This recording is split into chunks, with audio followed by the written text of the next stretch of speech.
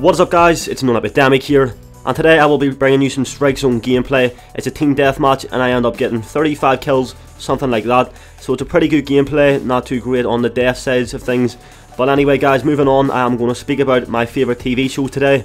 The instrumental I have used in this video kind of reminds me of one of my favourite shows ever, Six Feet Under. The ending of that is crazy and that ending has this instrumental kind of. So that is why I had the idea to do this commentary and I hope you guys can get some ideas of what video shows to watch and also give me some TV shows to watch in return. Please before I start do not spoil any shows that you recommend or that I recommend simply because I know you guys will respect my wishes and honestly there's no point whatsoever in spoiling people's TV shows. It's a way to entertain myself, entertain yourself, and for that, like I said, there is definitely no point. But moving on, I'm going to speak about around 10 shows that I enjoy very much, and is my 10 favourite shows. At the moment I'm watching Sopranos, I'm on episode 4, season 4 I believe, and it's amazing, it's one of my favourite, if not my favourite show as of yet and I'm definitely having a great time watching it. But anyway guys, let's speak about The Sopranos first off, since I'm also currently watching it. The Sopranos, at the moment, like I said, is probably one of my favourite shows, if not my favourite show I have watched as of yet. And I've watched some of the best, if not the best TV shows ever made. I'm talking about Breaking Bad, The Wire, Dexter, all those type of shows. And The Sopranos so far is very, very good. The main reasons why I enjoy it is because it gives you an insight to the mafia boss's family, and not only that, but it shows you his surroundings and how that affects him. That's something that makes TV shows very enjoyable to watch for me. If they give a high detail to the surroundings and their families, stuff like that is very interesting for me, and I'm sure it is to you guys. The same works with Dexter, it shows you how his family is affected. Um, I can't really say too much about that because it will spoil it. I'm trying not to spoil anything with this little discussion.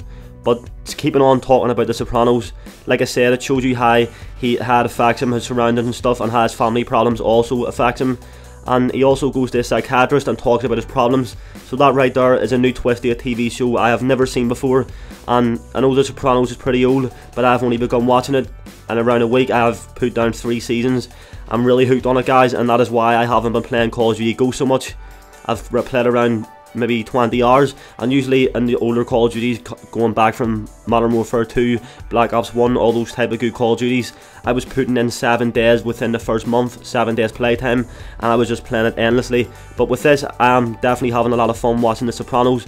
And in the meantime when I want to get on Call of Duty Ghost to take away the boredom I just jump on for an hour or two and I don't strain my eyes too much playing it. But that is all guys about The Sopranos. Moving on, I'm going to speak about The Wire. The Wire is one of my favourite shows also. It's based in Baltimore and it shows you the everyday life of drug dealers and also police officers. How they go undercover and try and spot the drug dealers out, and how the drug dealers' lives change when many of them go into prison and many of them die, all that kind of good stuff. So definitely give that one a watch, it's one of the best shows ever rated on IMDb and many other rating sites across the internet. Moving on, we have Game of Thrones. Game of Thrones is probably my second favourite show ever behind The Sopranos, maybe my first ever favourite show. When I watched it, and keep in mind it's also three seasons deep, nothing really too far, but when I watched the third season I couldn't comprehend what had happened when it ended. It was very sad for months upon months at a time, and I'm not exaggerating guys, it literally took me around three months to get over this. It's a great TV show and everything about it is definitely new and it's fresh. Check it out if you haven't already. Breaking Bad is also a pretty good show, definitely one of my favourites.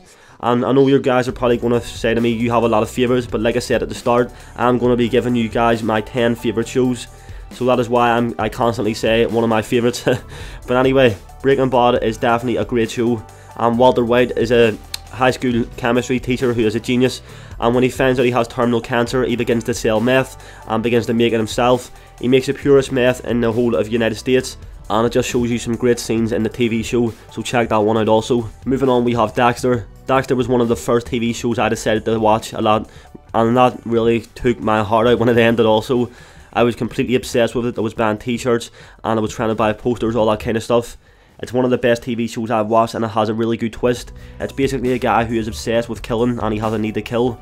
And when he doesn't kill, he starts to go insane. But the channel that Killing Urge he basically goes after the people that have slipped through the cracks and have really got away from the justice system. So he goes after them and does his thing. I'm not going to say too much, but definitely give that one a watch also, guys. The reason why I don't really like talking about TV shows or movies is because I can't feel the need to spoil it. I don't really like enjoying spoiling shows, as I said at the start, and I'm sure you guys don't also. But take my word for it, these TV shows are some of the best ever created, and that's a fact. Not just that, but many people agree with me, and I'm sure you guys have probably seen a lot of these. So let me know in the comments what do you think of these. Moving on, we have The Walking Dead. The Walking Dead is currently airing, I think it's on the fourth or fifth season. I've watched up to the very last episode that has come out, and I'm having a great amount of fun. The only thing I haven't watched is the episode on Sunday, so I'm going to check it out after this, and then I'm going to jump on and watch some more Sopranos. I really enjoy watching TV show guys and it gives me a break from reality. It allows me to sit back, relax and have a good time and think about a lot of stuff also. Check out The Walking Dead if you haven't already. I'm not going to explain too much about it because I'm sure a lot of you guys have actually seen this or have seen it airing on the on the television and stuff, have seen the advertisements. But moving on, we are going to speak about Homeland. Homeland is once again a very good show.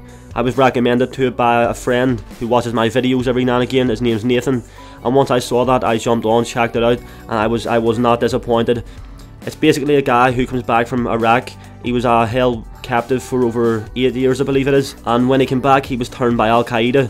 So he goes undercover and tries to get news that Al Qaeda tries to set up a lot of bombing events and stuff like that. Give that one a watch also, guys. I can't really say too much because there's a pretty good twist at the end of the first season, beginning of the second season, I believe.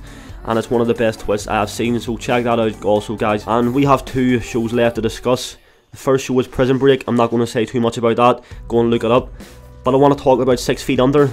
At the start, I said this little instrumental reminds me of it. And the reason for it is at the end of Six Feet Under, the entire show is great, but the ending is is completely hands down the best ending I have ever seen to a season and to a TV show in general. It's very good, guys, and it almost had me in tears because it's that upsetting and it's that it's just so inspiring. Also, very, very, very good, and I really hope that all of you guys decide to check this one out. A lot of people is put off because there are some homosexual acts. The main actor, Michael C. Hall from Dexter, this was his first big break on any TV show, any movies like that and he had to perform homosexual acts. He's not gay, keep that in mind. But they asked him to perform these acts, and a lot of people is put off by this. They don't really like seeing that kind of stuff, and if you're one of those people, wise the fuck up and watch it. It's a great show, and do not let that shit put you off. I don't have a problem with that. Every gay person can be gay. I'm not worried, and it's a free world. So definitely, guys, give Six Feet Under a watch, and I can guarantee you that not just the finale of the last season, but the complete show, all in all, is a very good show. There's some pretty inspiring scenes in it, and for that I do really urge you to watch it. But anyway guys, I'm sure you can hear that in the background. The rain has decided to come on, and that is the end of the video. Hopefully you enjoy it, and as always, please leave a like rating. I got 20 likes on my last two videos, and that really means a lot, along with 40 subscribers yesterday. I can't really say how much that means to me guys, 40 subs is a huge amount, and I'm close to 200 subs now. I may have 200 subs once I upload this. But thanks again guys, have a great day, and peace.